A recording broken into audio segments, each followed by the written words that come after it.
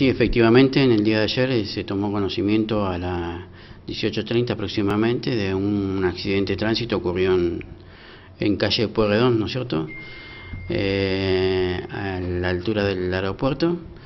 Este, una camioneta que se disponía a ingresar al garage del domicilio, bueno, eh, fue impactada en, el costado, ¿no es cierto?, al momento de efectuar la maniobra por una moto, por una moto de 150 centímetros cúbicos de cilindrada, provocando de esta manera este, la caída del conductor del rodador menor, ¿no es cierto?, y eh, ocasionándole lesiones.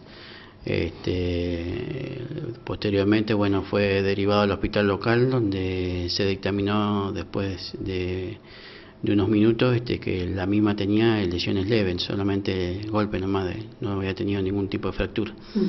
¿Y la imprudencia se supone de la persona que iba transitando en la moto? Eh, no, bueno, sí, supuestamente iban los dos en el mismo sentido, ¿no es cierto? La camioneta se disponía a ingresar, eh, a doblar a su izquierda para ingresar a su domicilio en garage y bueno, este, el ciclomotor este, eh, impacta la camioneta y bueno, este, pero bueno, eh, afortunadamente sin, sin muchas consecuencias físicas para, el, para la moto, ¿no? para el conductor de la moto, que después posteriormente arreglaron ellos las, las diferencias por los daños de, de los rodados, ¿no es cierto?, en, en Estados Unidos, ¿no es cierto?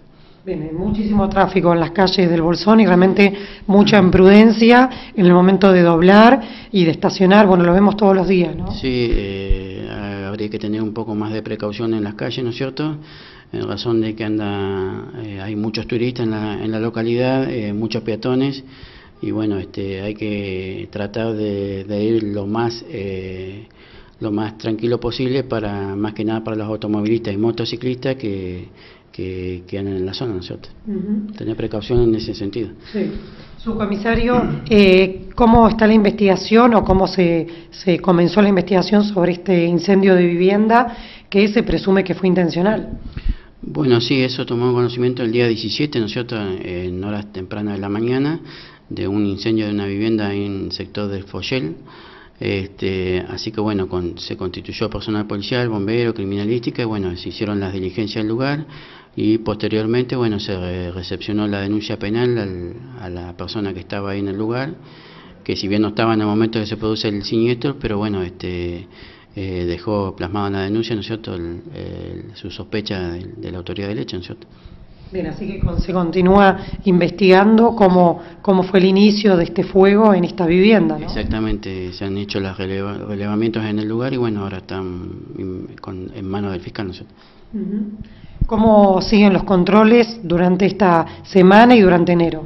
Estamos realizando eh, controles nocturnos de jueves a domingo junto con el municipio en, el programa El Bolsón Te Cuida, eh, donde de jueves a domingo se, realiza una peatonal acá en, la zona de la calle Dorrego con personal policial, eh, personal policial y personal del municipio. Bueno, en ese sentido, en horarios nocturnos y durante el día se hacen distintos patrullajes con personal también policial en la zona turística.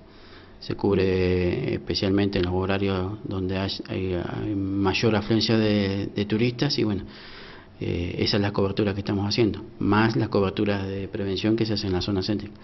Bien, y Ruta 40, que está a cargo del destacamento de seguridad vial. Exactamente, sí, eh, Ruta 40 con la creación del nuevo destacamento. Este, a cargo del oficial que está ahí de jefe, este, se coordinan las tareas de prevención y, y de, sí, de prevención en, en la ruta, ¿no